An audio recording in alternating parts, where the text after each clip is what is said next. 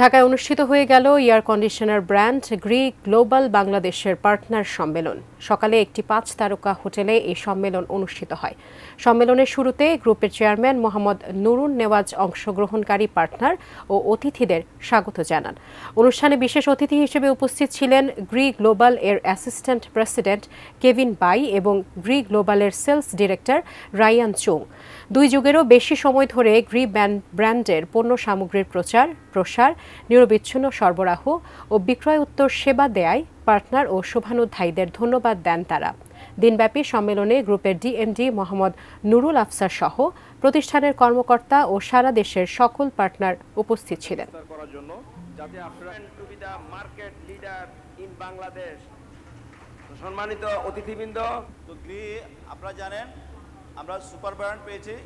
commitment